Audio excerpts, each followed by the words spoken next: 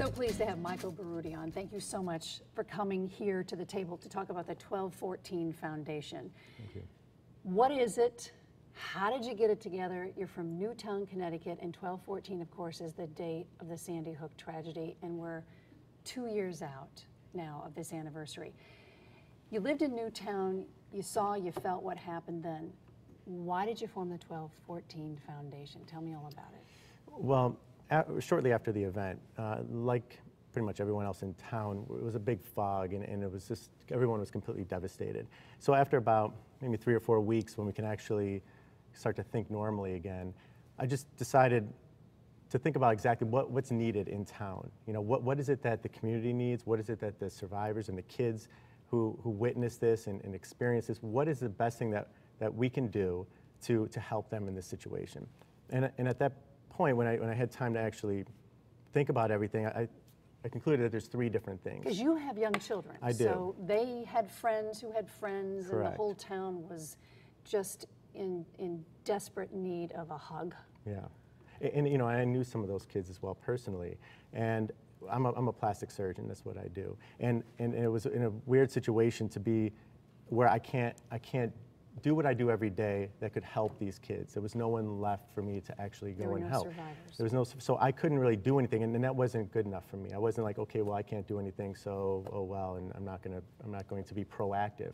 So think about what, what really needs to be done. I felt that these kids need to be able to express themselves. They need to be able to get all of what we we're feeling inside. How do you get that out instead of burying it for long, for long periods of time and, and have it manifest in other ways later on in life? So that's, I felt that there's no words really to describe how horrific that day was. So there has to be other nonverbal ways for them to be able to communicate. And I felt that the performing arts is a very strong way to do that because they can personally grow and they can personally express themselves, but they're doing it with their friends who experience the same thing in front of their community. You know, and they're, they're actually bringing everybody together in a, in a way where we're all strong again, but it's not a verbal type of uh, situation. So you formed a nonprofit. You called it 1214 Foundation. Was that an easy title to come up with? Well, uh, one of the things at that time was to not make it about Newtown at that point and to say, well, this is just a Newtown issue. This is something that has affected uh, so many people around the world. Globally. It's a global thing. So it's not the Newtown tragedy. It's not the Sandy Hook. It is a tragedy on humanity, basically. And the way I saw it was, was this is a, a point in time where so many lives were changed all around the world. So I chose the date as being the name of this rather than it just being a, a like a geographical small area.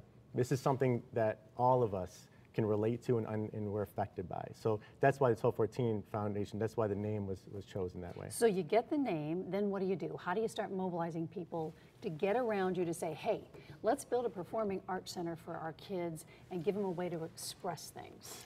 Well, it's interesting. I mean, wh- when I personally didn't have a lot of connections in the performing arts. So I just went online and I said, these are the types of people I need. And I said, who's the best in the world at this and who's the best in the world at that?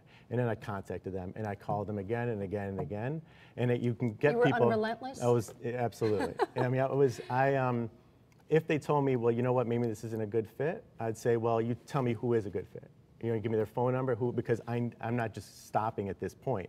And then when you start to, to get people involved, I mean, why not start at the top and then see what happens after that? Because I like your thinking. because this event deserves a, a, the best response that we can come up with, and, and it involves the best people that we can get. So you start, you gather people, you, you gather an executive director, you start telling uh, the town about it and kids, and, and performances are starting to go on. Tell me about that. So it was interesting. And just um, a couple of months after, fi- after organizing things, or even just conceiving this idea, we had um, Michael Unger, who is our artistic director, said, you know what, why, why should we wait any, any longer? Because you don't have a anything?" building yet. Yeah, we You're don't have a that. building, we don't have money, we don't have really anything at that point, because we wanted to make sure things were in place before we just jump out there and say, hey, this is what we're doing. I mean, it deserves far more respect than that to the families and to everyone in the town, rather than just say, hey, guess what, I have an idea. We kind of started to get everything mobilized and behind the scenes before we actually presented the idea.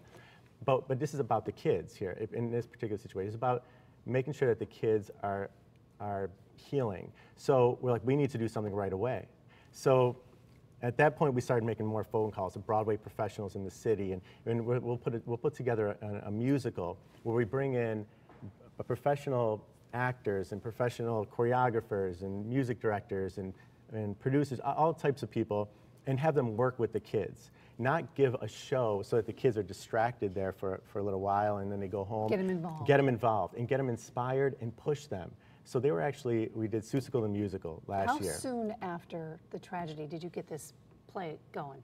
So that was April. We started to, you know, do auditions and things like that for it. So that was April of last year. So you did Seussical. Yeah. All right, then more stuff comes. What do you do next? So then we're like, well, we want to challenge these kids, right? And the only way that you really, you really grow is if you if you exceed your own expectations of yourself, right? These kids have to believe in themselves in order for them to push forward. I can say all day to them, you know what, you're going to be okay, and everything's going to be fine, and, and that's great. But they don't believe that until they do something that they actually surprise themselves through hard work and dedication. So we're like, why, we need to do something else here, even bigger than that, or even more difficult. So we did an original musical. So we actually wrote this musical with the kids, wrote all the new music, and it's a, and it's a Shakespeare musical called A Rockin' Midsummer Night's Dream. So we wanted them to learn new language and learn about Shakespeare and do all these things that were very, very difficult and demanding. And they were absolutely unbelievable in what they did. And we also did 101 Dalmatians, and we rewrote that as well. I mean, so many different things happened this past summer, and we involved over 160 kids.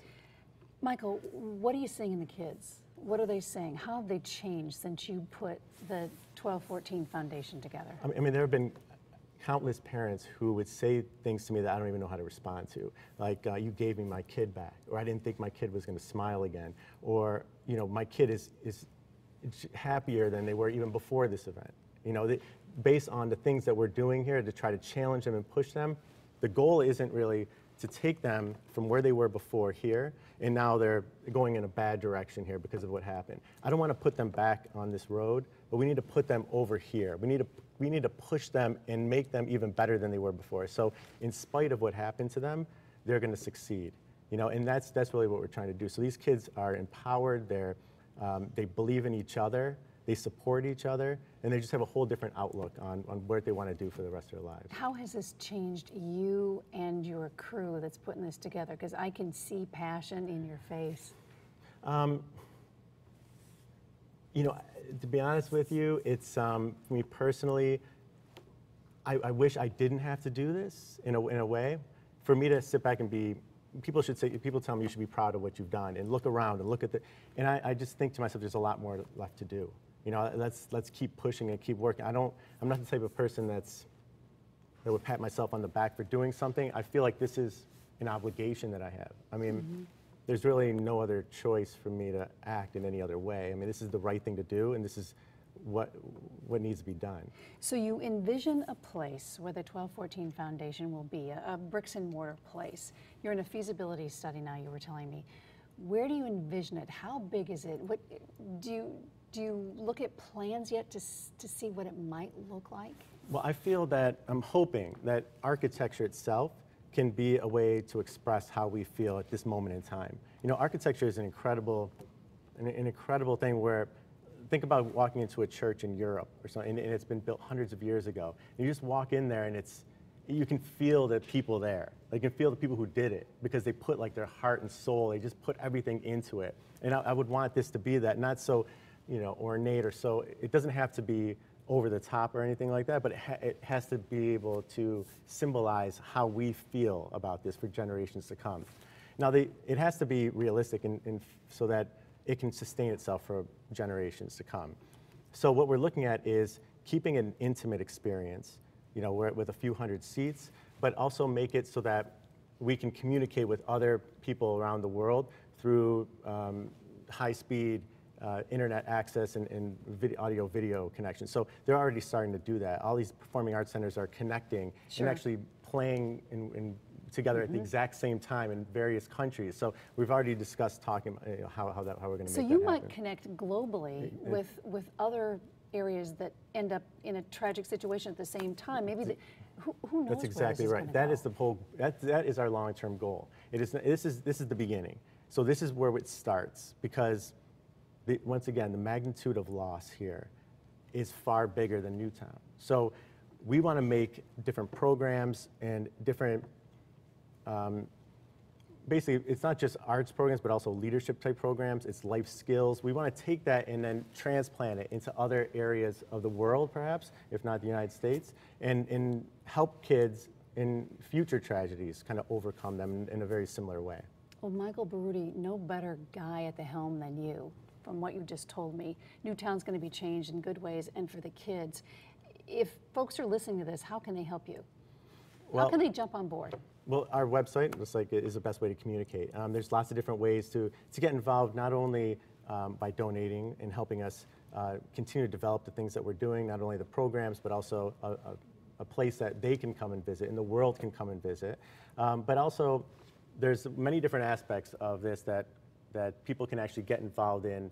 Uh, various different professionals and things like that. They can actually contact us through our website and actually um, 1214foundation.org. Yes, 1214foundation.org. And actually get involved with us. They can um, be, be advisors. They can, they can get involved with the programs that we have. You know, once again, this is a, this has affected all of us. So the more people that get involved from various areas, the, the happier I am with that. And you can change the world. Absolutely. Michael Baroody, thank you so much for coming on. Thank you.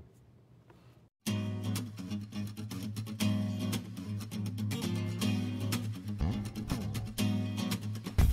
made a trivial pursuit, when one this in. Who is this girl I spent all night kissing? And if one was right here, then who else is missing? Got a little sidetracked if I'm so wishing to find the keys to the door, but it's also a metaphor. Locked in the grocery store of my mind. Just to save time, skip right ahead to the last ride. The harder we look, the less we can see. Don't you know, you know, you know.